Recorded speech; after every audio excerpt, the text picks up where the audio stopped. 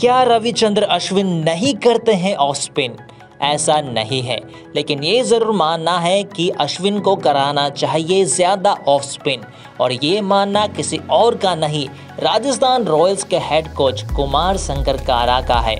और ये बयान उन्होंने गुजरात टाइटंस के खिलाफ फाइनल गंवाने के बाद दिया। उन्होंने कहा कि रविचंद्र अश्विन ज़रूर लेजेंड है, जिस तरह से उन्होंने अचीवमेंट हासिल किया है क्रिकेट पिच में।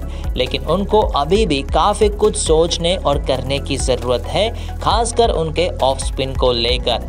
क्योंकि अगर हम बात करते हैं रविचंद्र अश्विन की गेंदबाजी की शैली के बारे में तो वो जाने जाते हैं काफ़ी ज़्यादा एक्सपेरिमेंट्स करने के लिए। और कई बार वो ऑफ़ स्पिन ना कराते हुए ज़्यादा करा देते हैं कैरम बॉल। और इसीलिए कुमार संगरकारा का ये बयान आया है और उनका खराब प्रदर्शन भी थोड़ा दिखा है इस टूर्नामेंट में, क्योंकि फाइनल मैच में भी अपने तीन ओवर में उन्होंने लुटा दिए थे 32 रन और एक भी विकेट हासिल नहीं कर पाए थे।